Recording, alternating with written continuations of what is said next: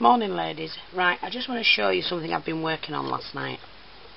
Not sure how much of it you can see. Let me just check the camera.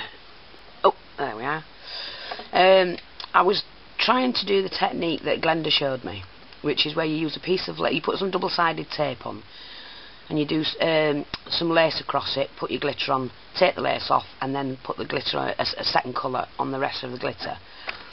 And although it looks good without all this trimming on, um, you can't really see. You can see it's pink and purple.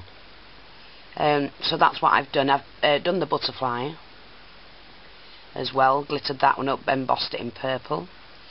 I used one of the centres that uh, Karen gave me.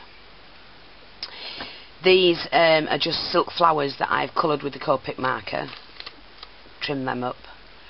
Um, and the, the front, I put some bling all the way around it with this gorgeous lace and then I've just trimmed it up with some um, glitter here in the corners hand drawn and then done the uh, pink bling and then a little bit of uh, bling on the sides. And what I did do with it I just painted it all using that new pink that I got yesterday.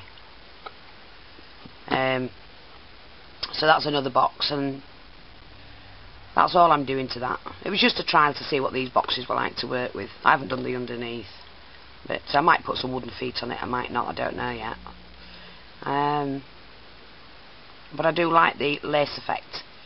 By laying the lace on and then padding the um, glitter onto it and then taking that off. It leaves a nice lacy I don't know if you can see that underneath like a lace pattern. So that's really nice. And then I use one of these metal uh, friend friends brad. So yeah it's different I think no. Next time, what I would do is definitely, definitely uh, go over this with a some sort of uh, varnish or something like that before I put anything on. But I just thought I'll share that with you. I did enjoy doing it, and um, although I got a bit bored eventually. I need something more challenging me, but there you go. It's just a, a little gift box, and um, that will be going out on this month's auction.